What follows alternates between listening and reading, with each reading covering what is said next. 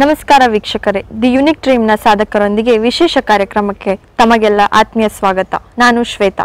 ವೀಕ್ಷಕರೇ, ನಾವಿಂದು ನಿಮಗೆ ಪರಿಚಯಿಸುತ್ತಿರುವ ವ್ಯಕ್ತಿ ಒಂದೊಮ್ಮೆ ಶಿಕ್ಷಕ ವೃತ್ತಿಯ ಆಸೆ ಹೊತ್ತು ವಿದ್ಯಾಕಾಶಿಗೆ ಕಾಲಿಟ್ಟವರು. ಉಚಿತ ತರಬೇತಿಯ ಹೆಸರನ್ನು ಕೇಳಿ ಇಷ್ಟಪಟ್ಟು ದಿ ಯುನಿಕ್ ಡ್ರೀಮ್ ಸಂಸ್ಥೆಯಲ್ಲಿ ಸ್ಪರ್ಧಾತ್ಮಕ ತರಬೇತಿಗೆ ಸೇರಿದವರು. ಸ್ಪರ್ಧಾತ್ಮಕ ಪರೀಕ್ಷಾ ತಯಾರಿಗೆ ಅವರು ಅಳವಡಿಸಿಕೊಂಡಿದ್ದು ಬಿಎಡ್ ಶಿಕ್ಷಣದಲ್ಲಿ ತಾವು ಕೇಳಿದ್ದ ಪ್ರಯತ್ನ ಪ್ರಮಾದ ಕಲಿಕೆ ಸಿದ್ಧಾಂತವನ್ನು. ಇದರಿಂದ ಒಂದೊಮ್ಮೆ ಶಿಕ್ಷಕ ವೃತ್ತಿಯ ಕನಸನ್ನು ಹೊತ್ತಿದ್ದ ಅವರು ಇಂದು ಆಯ್ದುಕೊಂಡಿದ್ದು ಆರಕ್ಷಕ ಹುದ್ದೆಯನ್ನು. ಯಾರದು? ಶಿಕ್ಷಕರಾಗೋ ಆಸೆ ಬಿಟ್ಟು ಆರಕ್ಷಕರಾಗಿದ್ದಾರೆ ಅಂತ ಯೋಚನೆ ಮಾಡ್ತಿದ್ದೀರಾ? ಅವರೇ ನಮ್ಮ ದಿ ಯುನಿಕ್ ಡ್ರೀಮ್ ಸಂಸ್ಥೆಯ ಹಳೆಯ ಆದರ್ಶ ವಿದ್ಯಾರ್ಥಿ ಸುನಿಲ್ ರವರು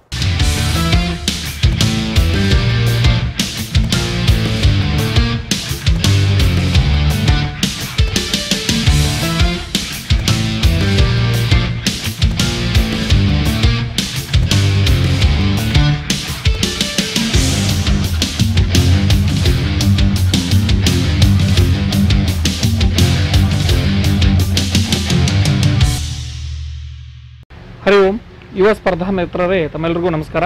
ಇಂದು ನಮ್ಮ ಸಂಸ್ಥೆಯ ಹಳೆಯ ಆದರ್ಶ ವಿದ್ಯಾರ್ಥಿ ಮಿತ್ರ civil P S I two hundred ಪೋಸ್ಟ್ಗೆ ಕರ್ನಾಟಕ ರಾಜ್ಯಕ್ಕೆ ಮೂವತ್ತೈದನೇ ರ್ಯಾಂಕ್ ತಂದು ಕೊಟ್ಟಂತ ಕುಮಾರ್ ಸುನೀಲ್ ಹುನ್ನಳ್ಳಿ ನಮ್ಮ ಜೊತೆ ಇದ್ದಾರೆ. ಸುನೀಲ್ ಕಾರ್ಯಕ್ರಮಕ್ಕೆ ಸ್ವಾಗತ. ನಮಸ್ಕಾರ ಸರ್. ಸುನೀಲ್ ಎರಡ್ನೂರು ಪೋಸ್ಟ್ನಲ್ಲಿ ತಾವು ಮೂವತ್ತೈದನೇ ರ್ಯಾಂಕ್ ತಂದು ಕೊಟ್ಟಿದ್ರಿ ಫಸ್ಟ್ ಆಫ್ ಆಲ್ ಕಂಗ್ರ್ಯಾಚುಲೇಷನ್ ಸಾಕಷ್ಟು ಮಿತ್ರರಿಗೆ ಒಂದು ಕನ್ಸರ್ನ್ ಇರ್ತದೆ ಈ ಕಾರ್ಯಕ್ರಮದ ಬಗ್ಗೆ. ಅದಕ್ಕೆ ಎಳೆಯಾಗಿ ಒಂದಿಷ್ಟು ಓದಿನ ಬಗ್ಗೆ ಮತ್ತು ತಮ್ಮ ಗ್ರಾಮಗಳ ಬಗ್ಗೆ ಯಾವ ರೀತಿಯಾಗಿ ಅಧ್ಯಯನ ಮಾಡಿದ್ರಿ ಅನ್ನುವಂಥದ್ದನ್ನು ನೋಡ್ಕೋತಾ ಹೋಗೋಣ. ಅದಕ್ಕೆ ಪ್ರಥಮದಾಗಿ ತಮ್ಮ ಕೌಟುಂಬಿಕ ಹಿನ್ನೆಲೆ ಬಗ್ಗೆ ಒಂದಿಷ್ಟು ಮಾಹಿತಿ ಕೊಡಿ ಅಂತ ಸುನೀಲ್. ಮೊದಲಿಗೆ ನಾನು ಡ್ರೀಮ್ ಸಂಸ್ಥೆ ಹಾಗೂ ಬಂಗಾರಿ ಸರ್ ಅವರಿಗೆ ತುಂಬ ಧನ್ಯವಾದಗಳನ್ನ ಹೇಳ್ತಾ ಇದ್ದೀನಿ. ಯಾಕೆಂದರೆ ನಾನು ಸಕ್ಸಸ್ಫುಲ್ ನನ್ನ ಸಕ್ಸಸ್ಫುಲ್ ಜರ್ನಿಯಲ್ಲಿ ಬಂಗಾರಿ ಸರ್ ಅವರ ಪಾತ್ರವೂ ತುಂಬ ಇದೆ. ಅದಕ್ಕೆ ಅವರಿಗೆ ಧನ್ಯವಾದಗಳನ್ನ ಹೇಳಕ್ಕೆ ಇಷ್ಟಪಡ್ತೀನಿ ಮತ್ತೊಂದು ಸಲ. ಮೊದಲು ನಾನು ಹುಟ್ಟಿ ಬೆಳೆದಿದ್ದೆಲ್ಲ ನಮ್ಮದು ಬೆಳಗಾಂ ಡಿಸ್ಟಿಕ್ ರಾಯಬಾಗ್ ತಾಲೂಕು ಮುಗುಳ್ಕೋಡು. ನಾನು ಪ್ರಾ ನನ್ನ ಪ್ರಾಥಮಿಕ ಶಿಕ್ಷಣ ಅಂದರೆ ಫಸ್ಟಿಗೆ ನಾನು ಯಲ್ಲಾಲಿಂಗ ಪ್ರಾಥಮಿಕ ಶಾಲೆಯಲ್ಲಿ ನಾನು ಪ್ರಾಥಮಿಕ ಶಾಲೆಯನ್ನು ಪೂರ್ಣಗೊಳಿಸಿ ನೆಕ್ಸ್ಟ್ ಹೈಸ್ಕೂಲ್ ಶಿಕ್ಷಣವನ್ನು ನಮ್ಮೂರನೇ ಇನ್ನೊಂದು ಪ್ರೌಢಶಾಲೆಯಾದ ಶ್ರೀ ಬಿ ಎನ್ ಕುಲಿಗೋಡ್ ಪದವಿ ಪೂರ್ವ ಹೈಸ್ಕೂಲಲ್ಲಿ ನಾನು ಹೈಸ್ಕೂಲ್ ಶಿಕ್ಷಣವನ್ನು ಕಂಪ್ಲೀಟ್ ಮಾಡಿದೆ.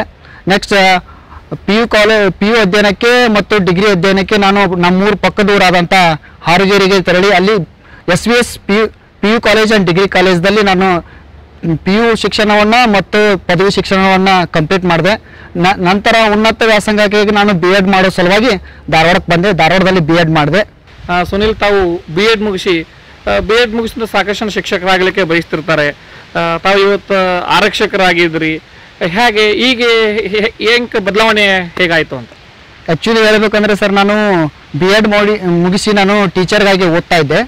ಆಗ ಬೆಳಗಾಂ ಡಿಸ್ಟಿಕ್ದವರು ಓನ್ ಡಿಸ್ಟಿಕ್ ಇದ್ದವರು, ಆನಂದ್ ಚೋಪ್ರಾ ಅವರ ಸಹಯೋಗದಲ್ಲಿ ಒಂದು ಪ್ರೀ ಕೋಚಿಂಗ್ ಒಂದು ಎಕ್ಸಾಮ್ ನಡೆಸ್ತಾ ಇದ್ರು. Belgaum district Bagalkot district other ಡಿಸ್ಟಿಕ್ದವ್ರಿಗೆ ಅಂತೇಳಿ. ಆಗ ನಾನು ಆ ಪ್ರೀ ಕೋಚಿಂಗನ್ನು ನಾನು ಎಕ್ಸಾಮ್ ಬರೆದೆ ಕ್ಲಿಯರ್ ಮಾಡಿದೆ. ಕ್ಲಿಯರ್ ಮಾಡಿದ ತಕ್ಷಣ ನಾನು ಅಲ್ಲಿವರೆಗೆ ನಾನು ಟೀಚರ್ಗಾಗಿ ಓದ್ತಾ ಇದ್ದೆ. ಇಲ್ಲಿ ಸಂಸ್ಥೆಯಲ್ಲಿ ಕೆಲವು ಸಾಧಕರಿಗೆ ಸನ್ಮಾನ ಆಗಲಿ, ಮತ್ತೆ ವೀಕ್ಲಿ ವೀಕ್ಲಿ ಸಾಧಕರನ್ನ ಕರೆಸಿ ಕರೆಸಿ ಅವರಿಂದ ಲೆಕ್ಚರ್ ಕೊಡಿಸೋದಾಗಲಿ ಅವ್ರ ಸನ್ಮಾನ ಮಾಡೋದಾಗಲಿ. ನೆಕ್ಸ್ಟ್ ನಮಗೆ ಅಲ್ಲಿ ಕನಕ್ ರೆಡ್ಡಿ ಸರ್ ಅಂತ ಮೆಂಟಲ್ ಎಬಿಲಿಟಿ ಸಬ್ಜೆಕ್ಟ್ ಟೀಚ್ ಮಾಡ್ತಾ ಇದ್ರು. ಅವರು ಮೆಕ್ಯಾನಿಕಲ್ ಇಂಜಿನಿಯರು ಮೆಕ್ಯಾನಿಕಲ್ ಇಂಜಿನಿಯರ್ ಇದ್ರು ಅವರು ಮೆಂಟಲ್ ಎಬಿಲಿಟಿ ಟೀಚ್ ಮಾಡ್ತಾ ಇದ್ರು. ಅವ್ರು ಹೇಳ್ತಾ ಇದ್ರು, ನೀವು ಯಾಕಂತ, ಯಾಕೆ ನೀವು ದೊಡ್ಡ ದೊಡ್ಡ ಏಮ್ ಇಟ್ಕೊಂಡಿಲ್ಲ? ಟೀಚರ್ಗಾಗಿ ಅಷ್ಟೇ ಹಾಕಿದ್ದೀರಾ? ನೀವು ದೊಡ್ಡ ದೊಡ್ಡ ಏಮ್ ಇಟ್ಕೊಡಿ ದೊಡ್ಡ ದೊಡ್ಡ ಟ್ರೈ ಮಾಡಿದ್ರೆ ಮಿನಿಮಮ್ ಯಾವಾಗಾದ್ರೂ ಒಂದು ಕ್ಲಿಯರ್ ಆಗುತ್ತೆ. ಅಂತ ಹೇಳಿದ್ರು. ನೆಕ್ಸ್ಟ್ ಕೆಲವೇ ದಿನ ಆದ ನಂತರ ಅವ್ರದ್ದು ಕೆ ಎಸ್ ಕ್ಲಿಯರ್ ಆಯಿತು. ರಾಜ್ಯಕ್ಕೆ ಒಂಬತ್ತನೇ ರ್ಯಾಂಕಲ್ಲಿ ನಾವು ಎ ಸಿ ಆಗಿ ಅಪಾಯಿಂಟ್ಮೆಂಟ್ ಆದರು. ಅವರೇ ನಮಗೆ ಇನ್ಸ್ಪಿರೇಷನ್ ಆದರು. ಅವಾಗ ನಾನು ಪಿ ಎಸ್ ಆಗಿ ಮತ್ತು ಕೆ ಎಸ್ಗಾಗಿ ಸ್ಟಡಿ ಮಾಡೋಕ್ಕೆ ಸ್ಟಾರ್ಟ್ ಮಾಡಿದೆ. ಸರ್ನು ತುಂಬ ಹೆಲ್ಪ್ ಮಾಡಿದ್ರು ಅವಾಗ. ಎಕ್ಸ್ಟ್ರಾ ನನಗೆ ಕ್ಲಾಸ್ ಕ್ಲಾಸ್ಗಳಲ್ಲಿ ಎಕ್ಸ್ಟ್ರಾ ನಾನು ಬೇರೆ ಕ್ಲಾಸ್ಗೆ ಹೋಗಿ ಅಟೆಂಡ್ ಮಾಡ್ತಾ ಇದ್ದೆ. ಮತ್ತು ಲೈಬ್ರರಿ ವ್ಯವಸ್ಥೆ ಎಲ್ಲ ಚೆನ್ನಾಗಿ ಮಾಡಿಕೊಟ್ರು. ನಾನು ಏನೋ ತಿಳಿಲಿಲ್ಲ ಅಂದ್ರೆ ಸರ್ ನಾ ಕಾಂಟ್ಯಾಕ್ಟ್ ಮಾಡ್ತಾ ಇದ್ದೆ. ಅದರಿಂದ ನಾನು ಈಗ ಪಿ ಎಸ್ ಆಗಲಿಕ್ಕೆ ಅದು ಒಂದು ಕಾರಣ ಆಯ್ತು ಅಂತ ಹೇಳ್ಬೋದು. ತರಬೇತಿ ನಿಮಗೆ ಯಾವ ರೀತಿ ಸಹಾಯ ಆಯ್ತು ಅನ್ಕೊಳ್ತಾರೆ ಸುನೀಲ್? ತರಬೇತಿ ಅಂದರೆ ನಾನು ಫಸ್ಟಿಗೆ ಟೀಚರ್ಗಾಗಿನೇ ಲಿಮಿಟೆಡ್ ಸಿಲೆಬಸನ್ನು ಮಾಡ್ಕೊಂಡಿದ್ದೆ. ಇಷ್ಟು ಹೋದ್ರೆ ಸಾಕಪ್ಪ ಟೀಚರ್ ಆದರೆ ಸಾಕು ಅನ್ನೋ ಲೆವೆಲ್ನಲ್ಲಿ ನಾನಿದ್ದೆ. ಇಲ್ಲಿ ಎಲ್ಲ ಕೆಲವೊಬ್ಬರು ಸಾಧಕರು ಬಂದು ಟೀಚ್ ಮಾಡೋದಾಗಲಿ ಕೆಲವರು ಅವರ ಅನುಭವಗಳನ್ನು ಹೇಳುವಾಗ ನಾನು ಸ್ಟಡಿ ಇದನ್ನ ವ್ಯಾಪ್ತಿಯನ್ನ ವಿಸ್ತಾರ ಮಾಡಿಕೊಂಡೆ. ಈ ಈ ಲೆವೆಲ್ಲಾಗ ಹೋದ್ರೆ ಕ್ವಶನ್ ಪೇಪರ್ ನೋಡಿದೆ. ಈ ಲೆವೆಲ್ ಹೋದ್ರೆ ಸಾಕಾಗಲ್ಲ. ಇನ್ನೂ ಬ್ರಾಡ್ ಆಗಿ ಓದಬೇಕು ಡೀಪ್ ಆಗಿ ಓದಬೇಕು. ಕ್ವಶನ್ ಪೇಪರ್ ರೆಫರ್ ಮಾಡೋಕ್ಕೆ ಸ್ಟಾರ್ಟ್ ಮಾಡಿದೆ. ಸರ್ ಗೈಡೆನ್ಸ್ ತಗೊಳಕ್ ಸ್ಟಾರ್ಟ್ ಮಾಡಿದೆ. ಅಂತ ಯಾವಾಗಲೂ ಒಂದು ನಿಜ ಹೇಳ್ಬೇಕಂದ್ರೆ ನಾವು ಎಷ್ಟು ಪ್ರಯತ್ನ ಪಡ್ತೀವಲ್ಲ, ಆ ಪ್ರಯತ್ನ ಪಟ್ಟಾಗಲೇ ನಮಗೆ ಎಕ್ಸ್ಪೀರಿಯನ್ಸ್ ಆಗುತ್ತೆ. ಎಕ್ಸ್ಪೀರಿಯನ್ಸ್ ಅಂದ್ರೆ ಹೇಗೆಂದ್ರೆ ನಾವು ಈ ಪ್ರಯತ್ನ ಪಡ್ಲಾರ್ದೇನೆ ಫಲ ನಿರೀಕ್ಷಿಸಬಾರ್ದು. ನಾವು ಪ್ರಯತ್ನ ಪಡಬೇಕು ಅದು ತಪ್ಪಲಿ ಒಪ್ಪಲಿ ನಾವು ಪ್ರಯತ್ನ ಮಾಡ್ತಾ ಇದ್ವಿ ಅಂದ್ರೆ ಒಂದಿಲ್ಲ ಒಂದಿನ ಫಲ ಸಿಗ್ತೈತೆ ಅಂತ ಹೇಳ್ಬೋದು ಅಷ್ಟೇ. ಸುನಿಲ್ ಈಗ ಒಂದು ಏನಂತಂದ್ರೆ ಸೆಲ್ಫ್ ಸ್ಟಡಿ ಮಾಡೋದ್ರಿಂದ ಬೇಗ ಪಿ ಎಸ್ ಆಗ್ಲಿಕ್ಕೆ ಸಾಧ್ಯ ಇದನ್ನು ಅಥವಾ ತರಬೇತಿಯಿಂದ ಆಗ್ಲಿಕ್ಕೆ ಸಾಧ್ಯ ಇದನ್ನು ತಮ್ಮ ವೈಯಕ್ತಿಕ ಅಭಿಪ್ರಾಯ ಏನು ಹೇಳ್ತಾರೆ ಅದ್ರ ಬಗ್ಗೆ?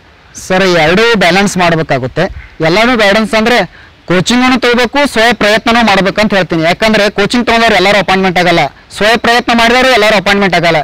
ಸರಿಯಾದ ದಾರಿ ತೋರಿಸೋರು ಇರಬೇಕು ಆ ದಾರಿ ಹೊಂಟ ನಾವು ಹೋಗಬೇಕು ಅಂತ ನಾನು ಹೇಳೋದಷ್ಟೇ ಅವ್ರು ಗೈಡೆನ್ಸ್ ಕೊಡ್ತಾರೆ ಅಂದ್ರೆ ನಾವು ಒಂದು ಫಾಲೋ ಮಾಡಬೇಕು. ಏನು ಗೊತ್ತಿಲ್ಲದೇ ಸ್ವ ಸ್ವ ಪ್ರಯತ್ನ ಮಾಡಿದ್ರೆ ಈಗ ಆಗಲ್ಲ. ಯಾಕಂದ್ರೆ ಕಾಂಪಿಟೇಟಿವ್ ಯುಗದಲ್ಲಿ ಈಗ ತುಂಬಾ ಫೈಟ್ ಇದೆ. ಅದಕ್ಕೆ ನಾವು ಎಲ್ಲ ಸ್ವ ಪ್ರಯತ್ನವೂ ಮಾಡಬೇಕು ಕೋಚಿಂಗ್ ಸೆಂಟರ್ದಿಂದನೂ ಗೈಡೆನ್ಸ್ ತೊಗೊಳ್ಬೇಕು ಅಂತ ಹೇಳ್ತೀನಿ ಅಷ್ಟೇ. ಸುನಿಲ್ ತಾವು ನಮ್ಮ ಸಂಸ್ಥೆಯಲ್ಲಿ ತರಬೇತಿ ಮುಗಿದ್ಮ್ಯಾಗ ನಿಮ್ದು ವೈಯಕ್ತಿಕ ಪ್ರಿಪ್ರೇಷನ್ ಪಿ ಎಸ್ ಆಗಿ ಯಾವ ರೀತಿ ಮಾಡ್ಕೊಂಡ್ರಿ ಅಂತ?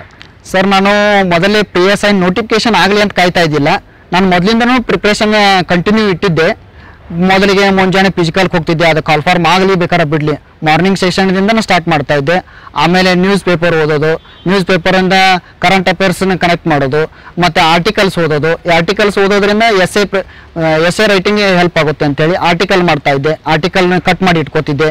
ಸಂಗ್ರಹ ಮಾಡ್ತಿದ್ದೆ. ನಂದೇ ಆದ ಎಗಳನ್ನ ಇದನ್ನ ಮಾಡ್ತಿದ್ದೆ. ಫ್ರೆಂಡ್ಸ್ ಎಸ್ ಎಸ್ ಎನ್ನು ನನಗೆ ಕೊಡ್ತಾ ಇದ್ರು. ನಾನು ಅವ್ರು ಕೊಡ್ತಾ ಇದ್ದೆ. ಅಂದ್ರೆ ನಾನು, ನನ್ನ ಎಸ್ ಅವ್ರ ಡಿ ಮಿನಿಟ್ಸ್ ಏನಿದೆ ಅಂತ ಅವ್ರು ಹೇಳ್ತಾ ಇದ್ರು. ಅವರಲ್ಲಿ ನಾ ಬರೆಯೋರಲ್ಲಿ ಏನೇನು ತಪ್ಪಿದೆ ಅಂತ ನಾನು ಹೇಳ್ತಾ ಇದ್ದೆ. ಅದನ್ನ ಸೇರಿಸಿ, ಎರಡು ಸೇರಿಸಿ ಸೇಮ್ ಎಸ್ ಇದ್ದು ಅಂದ್ರೆ ಅದನ್ನು ಒಂದೇ ಒಂದೇ ಮಾಡ್ತಾ ಇದ್ದೆ. ಅವರು ನನ್ನ ತಪ್ಪುಗಳನ್ನ ಹೇಳ್ತಾ ಇದ್ರು. ಕೆಲವೊಂದು ತಿದ್ದುಪಡಿಗಳನ್ನ ಮಾಡ್ಕೋತಿದ್ದೆ. ಇನ್ನು ಫಸ್ಟ್ ಪೇಪರ್ಗಳಲ್ಲಿ ಟ್ರಾನ್ಸ್ಲೇಟ್ ಮಾ ಟ್ರಾನ್ಸ್ಲೇಟ್ ಬಗ್ಗೆ ವಿಚಾರ ಮಾಡ್ಬೇಕಂದ್ರೆ ನಾನು ಆರ್ಟ್ಸ್ ಬ್ಯಾಕ್ಗ್ರೌಂಡಿಂದ ಬಂದಿದ್ದರಿಂದ ನಾನು eighth ninth social science book ತೊಗೊಂಡು ಕನ್ನಡ ಮೀಡಿಯಮು ಇಂಗ್ಲೀಷ್ ಮೀಡಿಯಮ್ ತೊಗೊಂಡು ಟ್ರಾನ್ಸ್ಲೇಟ್ ಮಾಡ್ತಿದ್ದೆ. ಪ್ರಯತ್ನ ಮಾಡ್ತಾ ಇದ್ದೆ. ಒಂದು ಸ್ವಲ್ಪ ಪ್ರಾಕ್ಟೀಸನ್ನು ಮಾಡ್ತಾ ಇದ್ದೆ. ಈ ಪ್ರಿಸೈಸ್ ರೈಟಿಂಗ್ ಅಂತೂ ಆಲ್ಮೋಸ್ಟ್ ಆಲ್ ನಾನು ಆರ್ಟ್ಸ್ ಬ್ಯಾಕ್ಗ್ರೌಂಡ್ದಿಂದ ಪ್ರಿಸೈಸ್ ರೈಟಿಂಗ್ ಅಂತೂ ಪ್ರಾಕ್ಟೀಸ್ ಮಾಡಿಲ್ಲ ಸರ್ ಸೆಕೆಂಡ್ ಪೇಪರ್ ಅಂತೂ ಆಲ್ಮೋಸ್ಟ್ ಅಲ್ಲಿ ಎಲ್ಲ ಸಬ್ಜೆಕ್ಟ್ ನೋಟ್ಸ್ ಆಗಲಿ ಬುಕ್ಸ್ ಆಗಲಿ at a time subject wise ಒಂದೊಂದು ಕ್ಲಿಯರ್ ಮಾಡ್ಕೊತ ಬರ್ತಾ ಇದ್ದೆ. ಅದಕ್ಕೆ ಎಲ್ಲ ವೀಕ್ ವೀಕ್ ಇದ್ದ ಸಬ್ಜೆಕ್ಟ್ಗೆ ಜಾಸ್ತಿ ನಾನು ಪ್ರಿಫರೆನ್ಸ್ ಕೊಡ್ತಾ ಇದ್ದೆ.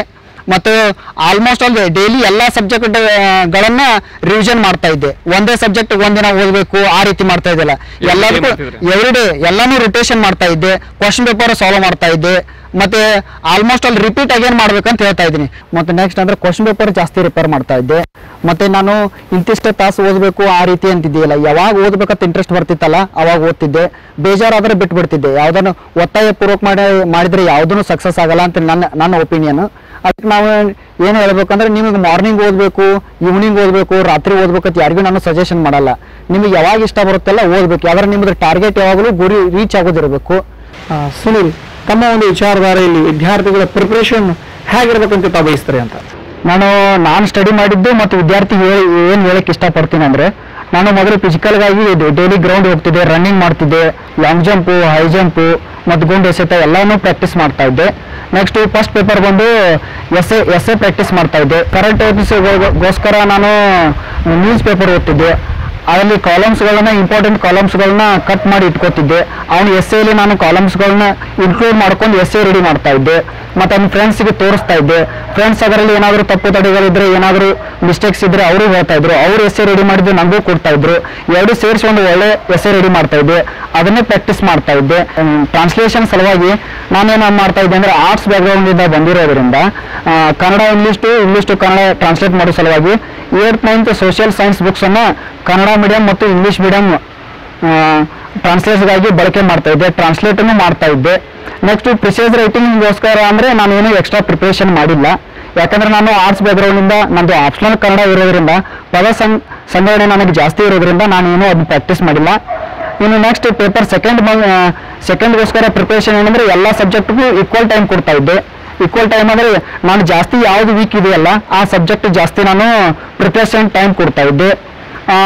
ಎಲ್ಲ ಸಬ್ಜೆಕ್ಟನ್ನು ರಿಪೀಟ್ ಮಾಡ್ತಾ ಇದ್ದೆ. ಮತ್ತೆ ವೀಕ್ಲಿ ಟೆಸ್ಟ್ ಅಟೆಂಡ್ ಮಾಡ್ತಾ ಇದ್ದೆ. ಮತ್ತೆ ಯಾವುದೇ ಎಕ್ಸಾಮ್ ನಡೆದರೂ ಕೂಡ ನಾನು ಅಟೆಂಡ್ ಮಾಡಲಿಲ್ಲ ಅಂದ್ರೆ ಆ ಕ್ವಶನ್ ಪೇಪರ್ ತೊಗೊಂಡು ಅದನ್ನ ಕ್ವಶನ್ ಪೇಪರ್ ಸಾಲ್ವ್ ಮಾಡ್ತಾ ಇದ್ದೆ. ಕ್ವಶನ್ ಪೇಪರ್ ಸಾಲ್ವ್ ಮಾಡೋ ಮಾಡೋ ಮೆಥಡ್ ಅಂದ್ರೆ ನಾಲ್ಕು ಆಪ್ಷನ್ಸ್ ಬಗ್ಗೆ ತಿಳ್ಕೊಳಕ್ ಕಷ್ಟಪಡ್, ಇಷ್ಟಪಡ್ತಿದ್ದೆ. ನಾಲ್ಕು ಆಪ್ಷನ್ಸ್ ಯಾವ್ದಾದ್ರು ಎಕ್ಸಾಂಪಲ್ ಹೇಳ್ಬೇಕಂದ್ರೆ ರಾಜಧಾನಿ ಕೇಳಿದ್ರೆ ಅಂದ್ರೆ ಎಲ್ಲಾ ರಾಜಧಾನಿ ಒಂದ್ ಕಡೆ ಬರ್ಕೋದು ಕರೆನ್ಸಿ ಕೇಳಿದ್ರೆ ಅಂದ್ರೆ ಕರೆನ್ಸಿ ಎಲ್ಲ ಒಂದ್ ಕಡೆ ಬರ್ಕೊಂಡು ಎಕ್ಸ್ಟ್ರಾ ನೋಟ್ಸ್ ಮಾಡ್ತಾ ಇದ್ದೆ. ನೆಕ್ಸ್ಟ್ ಟೈಮ್ ಇನ್ನೊಂದು ಯಾವ್ದಾದ್ರು ಕರೆನ್ಸಿ ಕೇಳ್ಬೋದು, ಇನ್ನೊಂದು ಯಾವ್ದೋ ದಿನಾಚರಣೆ ಕೇಳಿದ್ರೆ ಅಂದ್ರೆ ಅವನು ಎಲ್ಲ ಬರ್ಕೋತಿದ್ದೆ. ಈ ರೀತಿ ಕೊನೆಯ ರಾಜ ಪ್ರಥಮ ರಾಜ ಸಂಸ್ಥಾಪಕ ಈ ರೀತಿ ಕೇಳಿದ್ರಂದ್ರೆ ಅವನ್ನೆಲ್ಲ ತಗೋತಿದ್ದೆ. ಮತ್ತು ಪ್ರಧಾನಿಗಳ ಬಗ್ಗೆ ಕೇಳಿದ್ರೆ ಇವನ್ನೆಲ್ಲಾನು ಬರ್ಕೊಂಡು ಒಂದು ನಾನು ಎಕ್ಸ್ಟ್ರಾ ನೋಟ್ಸ್ ಮಾಡಿದ್ದೆ. ಮತ್ತು ಸಬ್ಜೆಕ್ಟ್ ಓದುವಾಗ ಎಲ್ಲ ಬುಕ್ಸ್ ಈ ಎಕ್ಸಾಂಪಲ್ ಹೇಳ್ಬೇಕಂದ್ರೆ ಬೆಳಕು ಚಾಪ್ಟರ್ ಏರ್ತ್ ಬುಕ್, ಸೈನ್ಸ್ ಬುಕ್ಕಲ್ಲೂ ಇರುತ್ತೆ. ಕೆ ಎಂ ಸುರೇಶ್ ಅವ್ರ ಸೈನ್ಸ್ ಬುಕ್ಕಲ್ಲೂ ಇರುತ್ತೆ. ಸರ್ ಬರ್ಸಿದ ನೋಟ್ಸಲ್ಲೂ ಇರುತ್ತೆ. ಎಲ್ಲನೂ ಎಟ್ ಎ ಟೈಮ್ ತಗೊಂಡು ಅದನ್ನ ಒಂದು, ಅದನ್ನ ನೋಟ್ಸ್ ಮಾಡ್ತಾ ಇದ್ದೆ ನಾನು. ಒಂದೇ ನೋಟ್ಸ್ ಮಾಡಿ ಎಕ್ಸಾಮ್ ಲಾಸ್ಟ್ ಮೂಮೆಂಟ್ ಇರ್ತೈತಲ್ಲ, ಆ ಮೂಮೆಂಟ್ ಇದ್ದಾಗ ಆ ನಮ್ಮ ವೈಯಕ್ತಿಕ ಏನು ರೆಡಿ ಮಾಡಿದ ನೋಟ್ಸ್ ಇರ್ತಿದ್ದೀವಲ್ಲ ಆ ನೋಟ್ಸ್ ಅನ್ನ ಓದ್ತಾ ಇದ್ದೆ. ಆ ನೋಟ್ಸ್ ಓದೋದ್ರಿಂದ ಎಟ್ ಎ ಟೈಮ್ ಎಲ್ಲ ಬುಕ್ಸ್ನು ಒಮ್ಮೆ ಕವರ್ ಮಾಡಿದ ಅಂತ ಫೀಲ್ ಬರ್ತಾ ಇತ್ತು ನಾನು ನಾನೆಲ್ಲ ಕಂಪ್ಲೀಟ್ ಮಾಡಿದ್ದೀನಿ. ಒಂದು ಒಂದು ಓದಿದ ಖುಷಿ ಇರ್ತಾ ಇತ್ತು. ಈ ರೀತಿ ಸ್ಟಡಿ ಮಾಡ್ತಾ ಇದ್ದೆ. ಮತ್ತೆ ನನ್ನ ತಪ್ಪುಗಳ ಪ್ರತಿ ವೀಕ್ಲಿ ಎಕ್ಸಾಮ್ ಬರೀತಿದ್ದೆ ಅಲ್ಲ ವೀಕ್ಲಿ ಟೆಸ್ಟ್ ಬರೆಯುವಾಗ ನಾನು ಏನು ತಪ್ಪು ಮಾಡ್ತಿದ್ದಿಲ್ಲ ನೆಕ್ಸ್ಟ್ ಟೈಮ್ ಅದನ್ನ ಮಾಡಬಾರ್ದು ಅಂತೇಳಿ ನಾನು ಮೊದಲೇ ರೆಡಿ ಆಗ್ತಾ ಇದ್ದೆ. ಈ ರೀತಿ ನೆಕ್ಸ್ಟ್ ಟೈಮ್ ಈ ತಪ್ಪು ಮಾಡಬಾರ್ದು. ಮತ್ತು ನಾನು ಯಾವ ಸಬ್ಜೆಕ್ಟ್ ನಾನು ನೋಡ್ಕೊಂಡಿಲ್ಲ, ನಾನು ಯಾವ ಸಬ್ಜೆಕ್ಟ್ ಓದಿಲ್ಲ, ಯಾವ ಜಾಸ್ತಿ ಮರಿತಾ ಇದೆ, ಆ ಸಬ್ಜೆಕ್ಟ್ ರಿಪೀಟ್ ಮಾಡ್ತಿದ್ದೆ.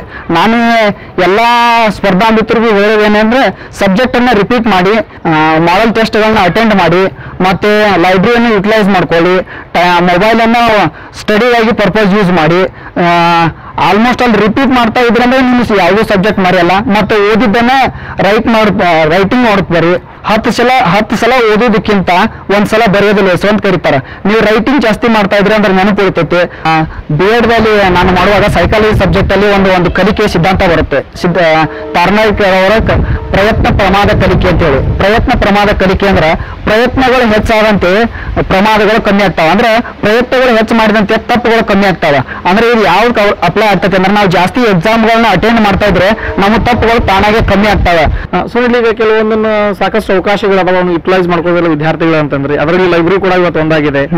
ತಮ್ಮ ಪ್ರಕಾರ ಅದನ್ನ ಏನ್ ಹೇಳಲಿಕ್ಕೆ ಇಷ್ಟಪಡ್ತೀರಿ ವಿದ್ಯಾರ್ಥಿ ಸರ್ ನಾನು ನೋಡಿದ ಪ್ರಕಾರ ಹೇಳ್ಬೇಕಂದ್ರೆ ಆಲ್ಮೋಸ್ಟ್ ಅಲ್ಲಿ ಲೈಬ್ರರಿ ಅಡ್ಮಿಷನ್ ಅಡ್ಮಿಷನ್ ಮಾಡಿದ ಸ್ಟೂಡೆಂಟ್ಗಳೆಲ್ಲ ವೈಫೈ ಯೂಸ್ ಮಾಡಕ್ಕೆ ಜಾಸ್ತಿ ಬರ್ತಾರೆ ಅಲ್ಲಿ. ನಿಜವಾಗ್ಲೂ ಹೇಳ್ಬೇಕಂದ್ರೆ ನಾನು ನೋಡಿದ್ದೀನಿ, ಯಾಕಂದ್ರೆ ಅಲ್ಲಿ ಬರೋದು ಪೇಪರ್ ಓದೋದು ವೈಫೈ ಯೂಸ್ ಮಾಡೋದು ಫೇಸ್ಬುಕ್ ವಾಟ್ಸಪ್ ಯೂಸ್ ಮಾಡೋದು ಹೋಗ್ಬಿಡೋದು. ಅದನ್ನ ಹೇಗಿದೆ ಅಂದ್ರೆ ರೂಮಲ್ಲಿ ರೂಮಲ್ಲಿ ಇರೋದೇನ ಲೈಬ್ರರಿಲಿ ಇರೋದಲ್ಲ, ಆ ರೀತಿ ಯುಟಿಲೈಸ್ ಮಾಡ್ಕೋತಾ ಇದಾರೆ. ಅಲ್ಲಿರೋರು ಎಷ್ಟು ಓದ್ತಾ ಇದಾರೆ, ನಾವೆಷ್ಟು ಓದಬೇಕು, ನಾವೆಷ್ಟು ಫೈಟ್ ಕೊಡಬೇಕು, ನಾವೆಷ್ಟು ಓದ್ರೆ ಅಪಾಯಿಂಟ್ಮೆಂಟ್ ಆಗ್ತೀವಿ ಅನ್ನೋದು ಆ ರೀತಿ ತಗೋ ಅದನ್ನ ಅವ್ರು ಸ್ವೀಕರಿಸ್ತಾ ಇಲ್ಲ. ಅದನ್ನ ಬೇರೆ ರೀತಿ ಯುಟಿಲೈಸ್ ಮಾಡ್ಕೋತಾ ಇದಾರೆ. ನಾನು ಹೇಳೋದೇನು ಅಷ್ಟೇ ಅಂದ್ರೆ ಎಲ್ಲರೂ ಮಜಾ ಮಾಡಕ್ ಮುಂದೆ ಟೈಮ್ ಇರುತ್ತೆ. ಎಲ್ಲರಿಗೂ ಮಜಾ ಮಾಡಕ್ ಮುಂದೆ ಟೈಮ್ ಇರುತ್ತೆ ಬಟ್ ಓದೋಕೆ ಕೆ- ಕೆಲವೇ ಟೈಮ್ ಇರುತ್ತೆ. ಆ ಏಜ್ದಲ್ಲಿ ಓದಿ ನಾವು ಏನಾದ್ರೂ ಒಂದು ಅಚೀವ್ಮೆಂಟ್ ಮಾಡ್ಬೇಕಂತ ನಾನು ಹೇಳಕ್ ಇಷ್ಟಪಡ್ತೀನಿ ಅಷ್ಟೇ. ಸೊ ನೀವು ಲಾಸ್ಟ್ ಪ್ರಿಪ್ರೇಷನ್ ಮಾಡೋಂತ ಒನ್ ವರ್ಡ್ ಅಂತ ಹೇಳ್ಬಾರ ಏನು ಹೇಳಕ್ ಬಯಸ್ತಾರೆ? ಸರ್ ನಾನು ಹೇಳ್ಬೇಕಂದ್ರೆ ಈ ಸೋತಿದ್ದೀವಿ ಅಂತ ಹೇಳಿ ಯಾವತ್ತೂ ಈ ಹಿಂದೆ ಹಿಂದಿಡಬೇಡಿ. ಯಾಕಂದ್ರೆ ಅದು ಈ ಟೇಜ್ ಯಾವ ಇಟ್ ಹೆಜ್ಜೆ ಮುಂದೆ ಇತಿಹಾಸನೇ ಕ್ರಿಯೇಟ್ ಮಾಡ್ಬೋದು. ಎಕ್ಸಾಂಪಲ್ ಅಂದ್ರೆ ನೀಲ್ ಆರ್ಮ್ಸ್ಟಾಂಗ್ ಚಂದ್ರನ ಮೇಲೆ ಕಾಲಿಟ್ಟಾಗ ಒಂದು ಮಾತು ಹೇಳ್ತಾನೆ. ನನಗಿದು ಚಿಕ್ಕ ಹೆಜ್ಜೆ, ಆದ್ರೆ ಪ್ರಪಂಚಕ್ಕೆ ಇದು ದೊಡ್ಡ ಹೆಜ್ಜೆ ಅಂತೇಳಿ. ಅವನು ಒಂದು ಹೆಜ್ಜೆ ಇಟ್ಟನೆ ಇತಿಹಾಸ ನಿರ್ಮಿಸಿರುವಾಗ ಅದನ್ನ ನಾವು ಯಾಕೆ ಎಕ್ಸಾಂಪಲ್ ತಗೊಂಡು ಅಚೀವ್ಮೆಂಟ್ ಮಾಡಬಾರ್ದು ಅಂತ ಹೇಳಕ್ ಇಷ್ಟಪಡ್ತೀನಿ ಅಷ್ಟೇ. ಸುನಿಲ್ ತಮ್ಮ ಅತ್ಯಮೂಲ್ಯವಾದ ಸಮಯವನ್ನ ನಮ್ಮೊಂದಿಗೆ ಇವತ್ತು ಬಹಳ ಸಂತಸ ಅನಿಸ್ತದೆ. ಬರುವಂತ ದಿನದಲ್ಲಿ ನಮ್ಮ ಸಂಸ್ಥೆ ಮೇಲಿನ ಮೇಲೆ ಬರ್ರಿ.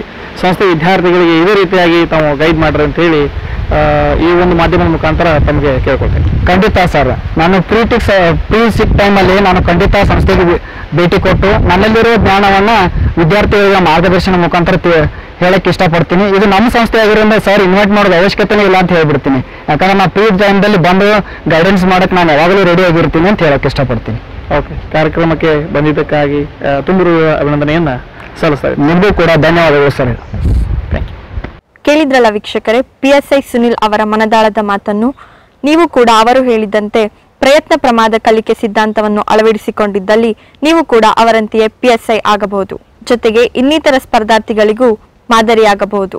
ನೀವೆಲ್ಲರೂ ಕೂಡ ಪಿ ಎಸ್ ಐ ಸುನಿಲ್ ರವರಂತೆಯೇ ಸಾಧನೆ ಮಾಡಲಿ ಎನ್ನುವುದೇ ನಮ್ಮ ಯುನಿಕ್ ಡ್ರೀಮ್ ಸಂಸ್ಥೆಯ ಆಶಯ.